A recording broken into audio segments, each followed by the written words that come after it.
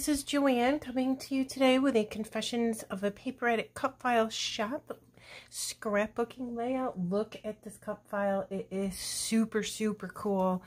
It is a heart with the word love in it. And the special thing about this cut file is it comes with the holes. It cuts out the holes so you can go ahead and do your hand stitching right on it. It, it makes it so ridiculously easy. This took no time whatsoever because I didn't have to poke my own holes and everything is perfect. Isn't that super pretty?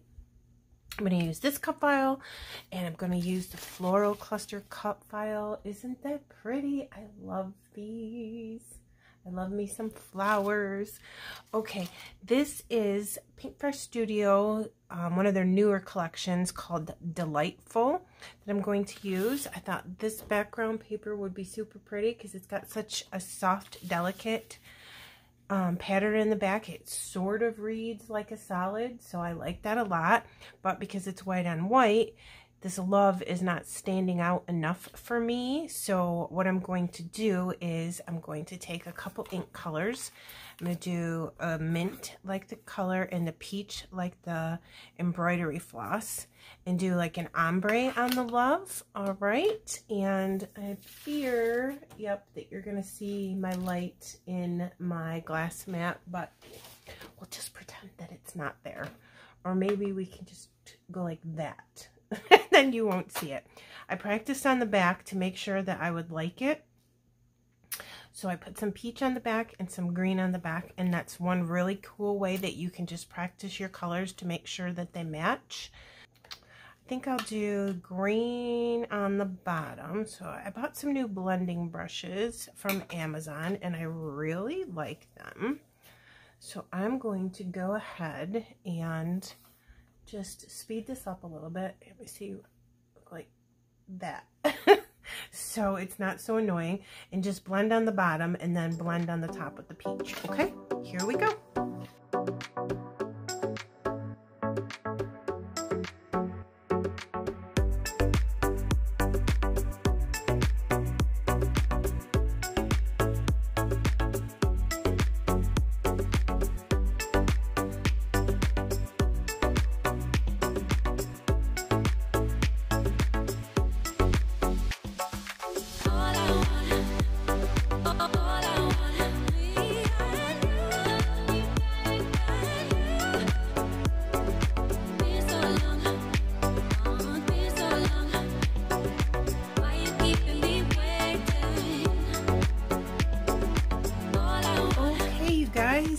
All done. Doesn't the ombre effect look super cool? I like it.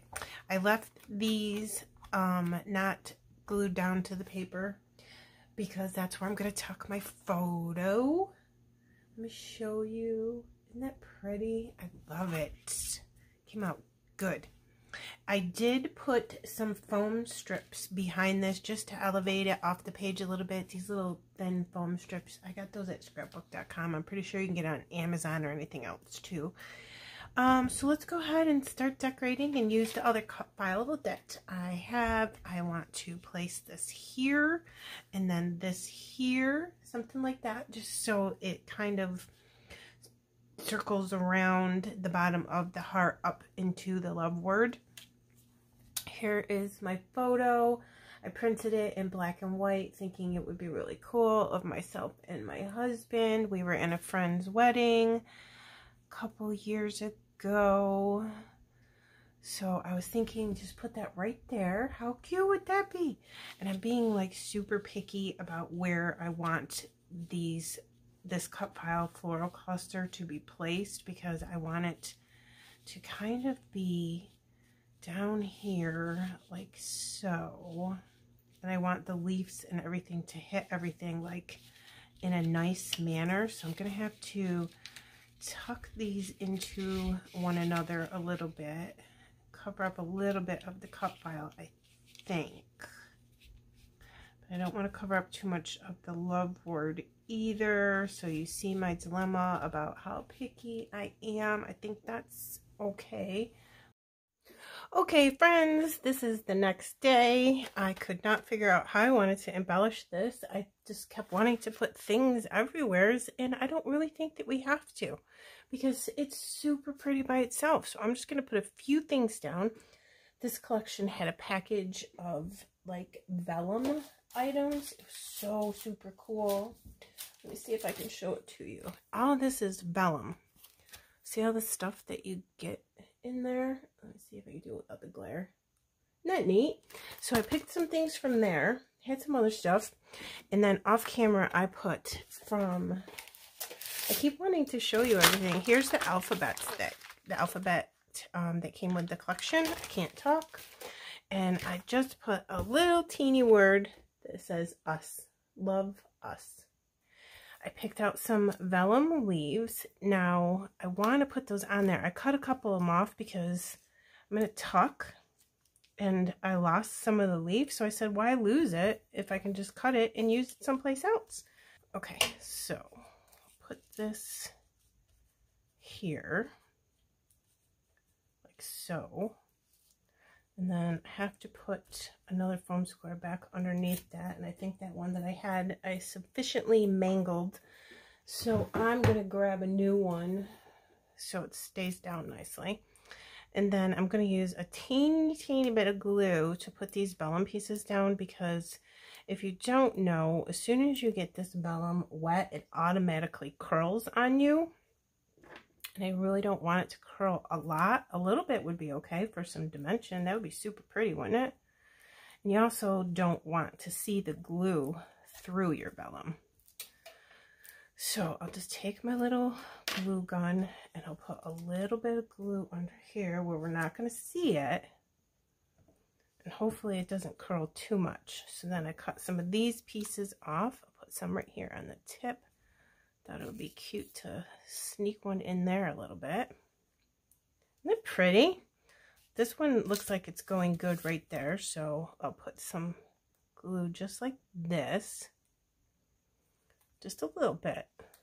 And then sneak that right in there. Push those foam squares back down. Oh no, I got glue on my paper. This is why I always have napkins. All right, that's good. Then I have these little offcuts too. We should put them around somewheres. I don't know where. Ooh, that looks pretty. Gotta be able to find some place and be like, yes, this is exactly where that's supposed to go. Now that's kind of super cute. Having two little leaves come out like that. I like that better than any other place that we've put things down so far. So we're going to go with it. And I'm going to turn my paper so I can get right in there. I don't want it to interfere with the cut file. And then I think a little bit of glue dabbed out. Go like that. Yay, perfect. All right, so I also have vellum butterflies from that vellum pack. Those are pretty. I'm going to put those all around. I found flare buttons from the collection. This says yes and this says happy. I like the blue, but I also am thinking this white is super, super pretty. And again, I don't know where to put any of this, so I'm going to try it a couple different places. Maybe. That looks kind of cute. You just kind of have to feel around until you get what you want. Really. I have these on foam squares, so when I do find the good spot for that is not it, then I can just go ahead and stick them right down. So let's get some butterflies. Let's see. We can put a pink one here. Super pretty. And then let's put a couple different colored ones up here one going this way, one going this way. Fill in that little empty spot there with a little bit of something. Um, maybe definitely have one coming this way, like that. Pretty.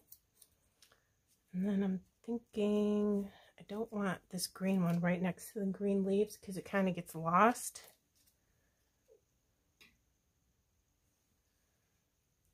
Let's see. Hmm. What do we think? I think that's kind of cute. So again, vellum, it's going to curl up naturally when you get it wet. So I'll just go ahead and put a little bit right in the middle. Let it do let it do its thing. I don't know why I can't talk today, but I can't. Okay, we'll put another one down here. Think I'm definitely going to put honeybee stamp gems in the middle of these butterflies because they're so pretty and they need just a little something more to sparkle them up. Oh my god, I dropped that. Good thing I have napkins. Wow, they're sitting up nice all by themselves. That's wonderful.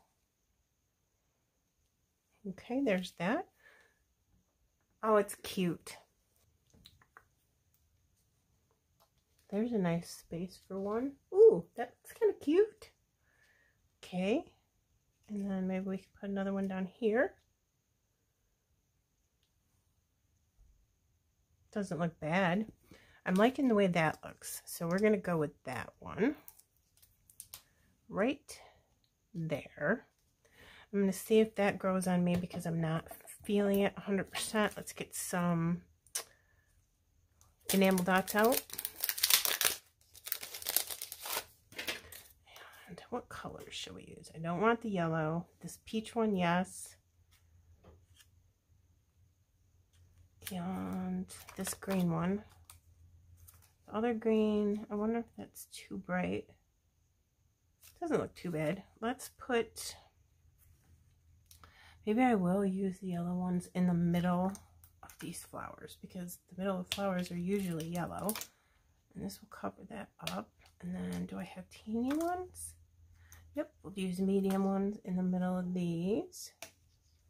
That might be a good idea. Oh, that's cute. Yeah, that made that look even better. Oh, I can put enamel dots right there. Let's do that. So we'll take a medium peachy pink. And then this side of that green. And I'm going to have to pick another color because I like to do three. Let's just do, I don't know if I want to do more yellows. How about this one? Hmm they cut that color goes with the butterfly so I think I'm gonna go with that then maybe another one here and here I don't know why I'm so indecisive today let's just do it we can always take them up if we don't like them but I think it'll be fine it's an enamel dot how would that possibly look bad right um, there, and let's do three here. Cute. All right, got that done. So we got three spots, and then in the middle here, adorbs. Let's just do clear on this and see if we like it. Let's do tweezers. Are these stuck down? Yep. All right, let's do try to do three on here if we can. Maybe just two. Yep, two. It's going to be a lot of noise because it is right in the middle of a huge ice storm and there's plows going by my house right now with salt and sand for the road. So I'm sorry about that, but it's pretty bad out. And of course, it has to happen right when everybody's trying to get home from work. So that always scares me. I was lucky and got to work from home today. So I'm grateful for that. Okay, one more and we will be done. And then I think that added a little something something that we needed.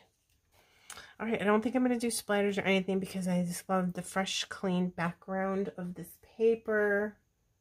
I think it's pretty. This was really easy to put together. Even stitching this was super easy because the holes were already there for you and they're a beautiful sized hole so you can get your needle and the um, embroidery floss right through there. Super simple. Isn't that pretty? And I like that I did the ombre with the ink on the love part so you could see it more, distinguish it more from the background. Here's that beautiful floral cut file too. I will put a direct link to both of these amazing cut files right in the description box below along with the Confessions of a Paper cut file shop and our Facebook group in case you want to pick up any other cut files while you're there. There you go. Yeah, those flare buttons are okay. I like them. It's good. I used up two of them. I'm good with it. Here's my photo in case you didn't get to see it. I know it's kind of small. All right, um, I think I'm done. I will put close-ups at the end for you, my friends. Thank you so much for stopping to see me. I hope you liked this. I had fun putting this together. All right, I'll see you next time. Bye.